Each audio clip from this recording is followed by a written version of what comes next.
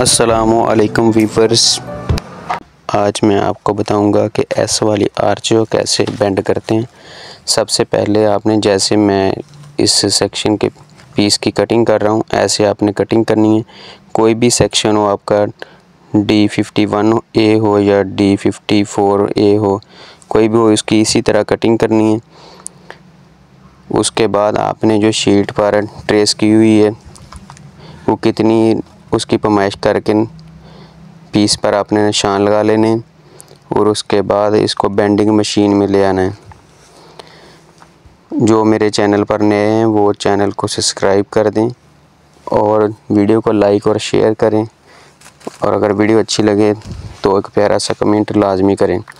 इसके बाद इसको जितनी हमारी पमाइश है ट्रेस की हुई, उसी हिसाब से हमने इसे बेंड करना शुरू कर देना है।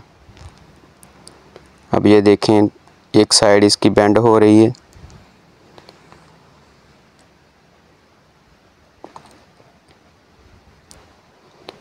एक साइड बेंड होने के बाद हमने एक साइड पे इसको टेप लगाकर, जो इसके अंदर डी एक फोर्टी वन होता है, उसको कवर कर लेना है दोनों साइड पे। और इसको फिर हमने मशीन के अंदर उल्टी डाल लेना है। वही जहाँ से हमने छोड़ी है। दूसरी साइड पे उसे निशान लगाकर उल्टा डाल लेना है इसको पीस को मशीन के अंदर और फिर फिर इसको बेंड करना शुरू कर देना है। ये आपकी एस वाली आर्च तैयार हो रही है।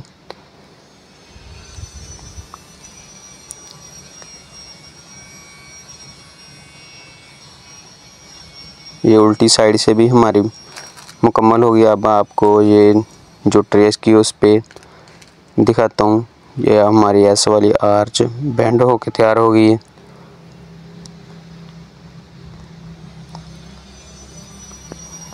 बिल्कुल परफेक्ट तैयार हो गई है। मज़ीद वीडियोस के लिए चैनल को सब्सक्राइब करें। शुक्रिया।